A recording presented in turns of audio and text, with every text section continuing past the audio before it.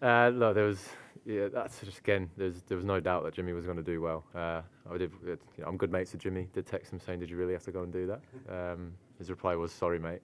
But um, look, it's he's an amazing bowler. Um, there's no doubt that he could still, um, you know, go out there and and play Test cricket because he is good enough.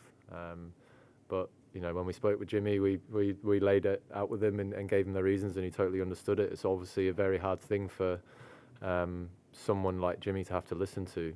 Um, but as well, I think you know the role in which we sort of see him falling into after this week about still being in the dressing room um, and you know helping all of our bowlers. Um, he's very very excited by as well. Um, this week will all be about Jimmy, and rightly so. But I can tell you that his main focus um, is about going out there, taking wickets, and, and trying to win this game for England as much as he can. And then, you know, I'm sure when we're done here this week, that's when the sort of everything else will take over. Um, but yeah, he's desperate to go out there and, and still put in a winning performance for England.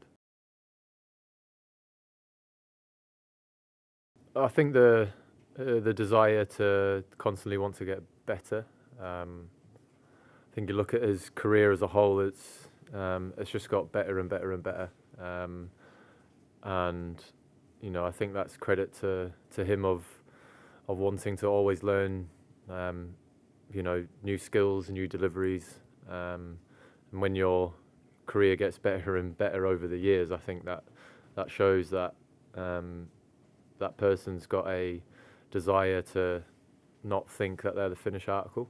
Um, so, you know, 41 years old, 187 games so far. Obviously, this will be his 188th. Um, just incredible ambassador for fast bowling. Um, and yeah, just if any young kid was to look up to someone to try and emulate, I don't think you'd be looking too far past James Anderson from a from a whole package. and you look at where we've got to go in, in 18 months' time to, to Australia, uh, we want to win that urn back.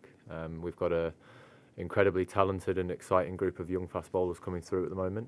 Um, so giving them uh, the experience of playing international cricket, getting test matches under their belt, will put us in a much stronger position um, to hopefully go out to Australia and, and win the Ashes.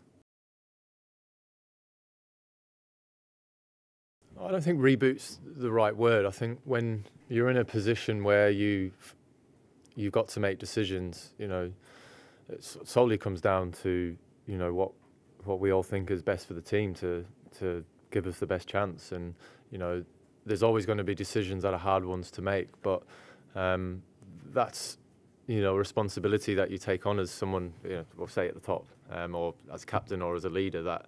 Um, you know, you sometimes got to put, you know, like personal relationships and things to the side because for me, the most important thing and what I'll always make my decisions around is what I think is best for the team. Um, there'll be some decisions I'm sure that, um, you know, people might not understand or might be frustrated by, and that's something that I'm absolutely fine with and I completely understand. Um, but something that I'm um, very um, I don't want to say stubborn, but very clear on is is I know that these decisions are best for the team from my point of view, um, and that comes with the responsibility of being a captain.